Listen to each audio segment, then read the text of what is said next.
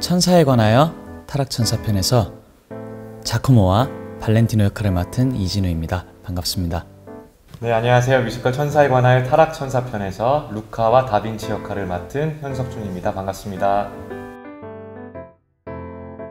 이번에 또 공연 소식을 들었을 때 참여하고 싶다고 생각을 했고 물론 부담되고 어려운 공연인 건 사실인 것 같습니다. 그렇지만 한 번 더 도전을 해보고 싶었고 무엇보다도 발렌티노와 자코모를 또 한 번 더 만나고 싶은 마음이 너무너무 컸습니다.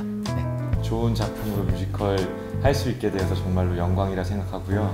연습실에서 항상 노래 부르듯이 제가 하는 말이 있거든요. 이번 시즌에 진우만큼만 하자. 그래서 저는 올해 진우만큼만 어, 그 이상을 더 잘하고 싶긴 한데 욕심인 것 같아서 진우 배우만큼만 할 수 있도록 최선을 다해서 어, 영광스러운 이 기회 잘 살려보도록 하겠습니다. 아무래도 1인 2역이 아닐까. 네, 자코모와 발렌티노를 연기하는 배우 한 명, 그리고 다빈치와 루카를 연기하는 배우 한 명. 이 두 명에서 보여주는 네 가지 캐릭터 이게 매력적이라고 생각을 합니다. 작품에서 펼쳐지는 그 다른 관점들이 보여지는데 그게 상당히 매력적인 것 같아요. 음. 그래서 초반부와 후반부에 나타나는 그 다른 인물들과의 관점을 저는 이 작품의 매력으로 꼽고 싶습니다. 딱 생각한 이미지가 있었어요. 그리고 하얗다. 그러면 이렇게 천사 링 있고 이런 게 떠올랐는데 실제로 이 작품을 하면서 조금 달라졌어요. 저는 생각이. 그냥 내가 좋아하는 사람의 모습이다라는 생각이 들더라고요. 내가 좋아하는 사람이 천사 같은 사람이고 그럼 천사가 있다면 그런 사람의 모습이겠지라는 생각까지도 가게 되더라고요. 네. 저한테는 뭐 개인적으로 석준이 형도 그 천사 중에 한 명입니다. 요즘에 생각하는 천사는 운전할 때 양보하는 저의 모습이 천사 같습니다.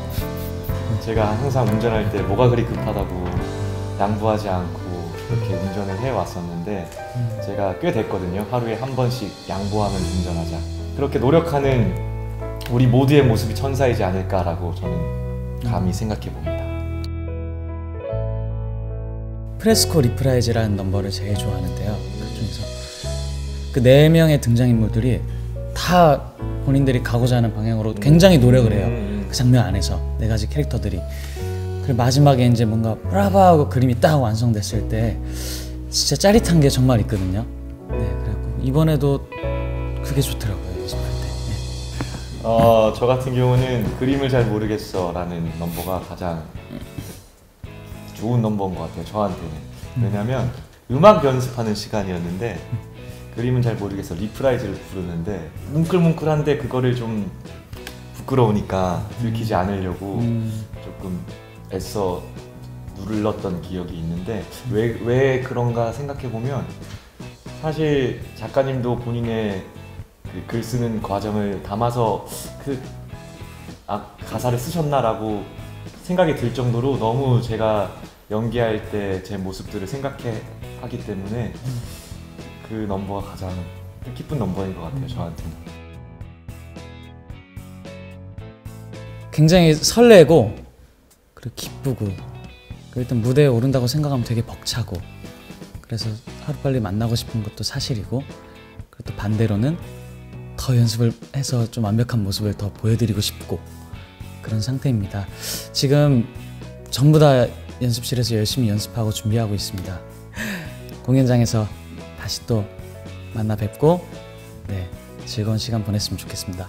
이 작품의 명성과 그다음에 배우들이 해왔던 그 노고에 누가 되지 않을 만큼 최선을 다해서 그리고 욕심 같아서는 정말 잘해내고 싶은데 그 욕심을 채울 수 있을 만큼 연습해서 무대 위에서 가장 좋은 모습으로 관객 여러분들 찾아뵐 수 있도록 노력하겠습니다.